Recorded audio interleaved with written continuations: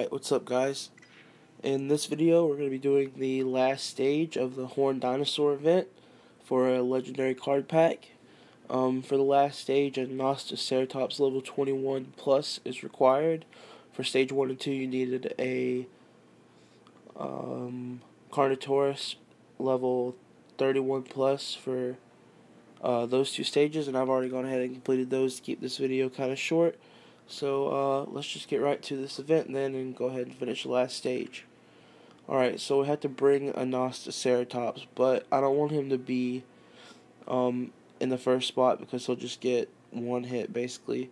So for the first spot, I'm actually going to put a Pteranodon. Then I'll bring in my Nasutoceratops. Where is he? Alright, there he is for number two. And then in the third spot, I'll bring my T-Rex. So, this isn't going to be the easiest battle. I'll have to get kind of lucky since my Indominus and Coolosaurus are still um, in, uh, cool in cool off mode. So let's just get right to it and try this team out. So really, I wanna my strategy here is to save up with the Pteranodon a little bit and then switch to the Nasutoceratops, let him be the block, but I couldn't put him one uh, in the first spot because the Carnoraptor would have just one hit him. Alright, so I'm actually going to save three and hope I don't get attacked right now.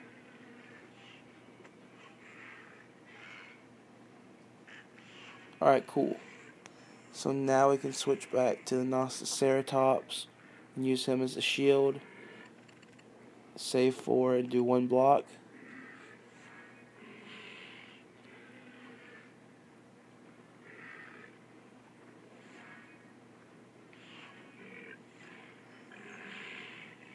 Alright, so I guess right now we'll do four saves and four attacks.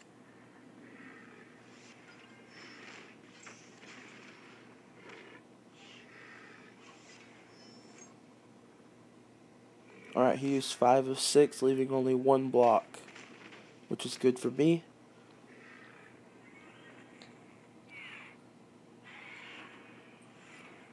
I'm going to switch to my T-Rex for this one and do 3 attacks and 4 saves. And that'll take out the Stegoceratops.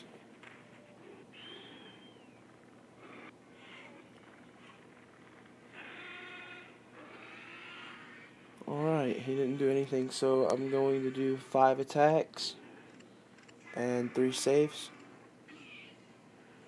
Nice. Alright, so only one left.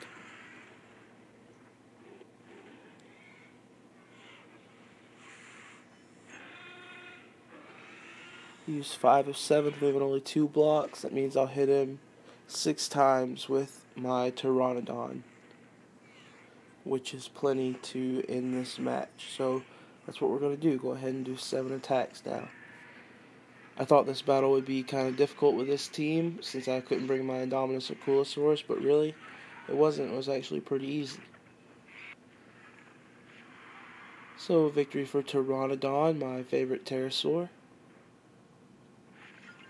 Alright guys, here's a legendary pack. Let's see what we get. 484,000 coins. Really didn't need that.